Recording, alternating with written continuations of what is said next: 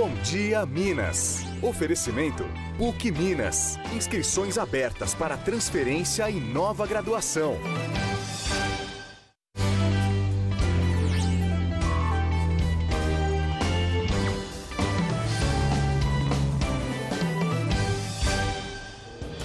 Olá, muito bom dia para você. Bom dia. Seja bem-vindo ao novo Bom Dia Minas. Aqui você sabe que vai encontrar as principais notícias do estado para começar o dia bem informado, agora no jornal mais dinâmico, mais interativo, mais bacana.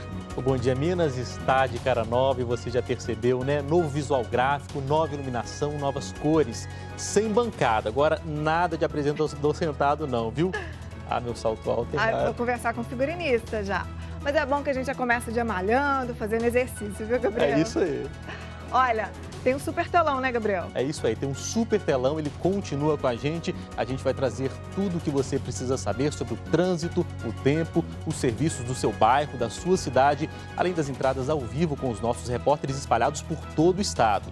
Gente, você vai ver que jornal bacana nós vamos fazer a partir de hoje com a sua ajuda e a sua participação. Você pode interagir com a gente. Poste a sua sugestão e o seu comentário nas redes sociais. Presta atenção, hein? Com a hashtag BDMG. É um Bom Dia Minas cada vez mais junto com você. E nesse telão aqui, olha só comigo, a gente vai mostrar as artes, os gráficos, tudo para que a notícia chegue melhor para você. Já vou estrear o telão, olha, para te dar um bom dia mais interativo, mais moderno. Olha aí, que bacana. Já estou estreando o telão, viu, Gabriel? Olha aí. Bom dia para você mais uma vez. Super bacana, né, Mari? Veja agora os destaques desta primeira edição do novo Bom Dia Minas. Hoje é segunda-feira, 11 de dezembro de 2017. Mãe e filha morreram depois que o carro em que elas estavam caiu em córrego no sul de Minas. O acidente aconteceu quando elas voltavam de uma festa. E o Bom Dia Minas vai mostrar também. Seis pessoas ficaram feridas depois que um micro-ônibus tombou na capital. O motor pifou bem na hora de subir uma rua. Peritos começam a investigar a queda de um avião experimental no sul de Minas.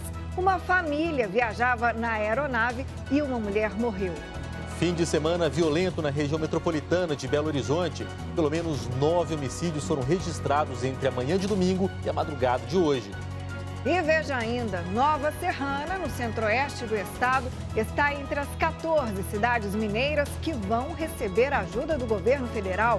Moradores tentam se recuperar dos estragos provocados pela chuva.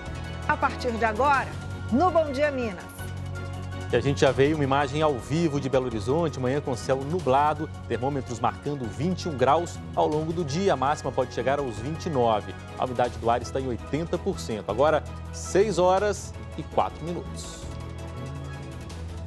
Gabriel, a gente começa com uma notícia do sul de Minas. Olha só, peritos estão investigando as causas do acidente com um monomotor no fim de semana lá na região. Pois é, Mara, ontem foi enterrado o corpo da fisioterapeuta que morreu na queda da aeronave. O marido e a filha dela ficaram feridos.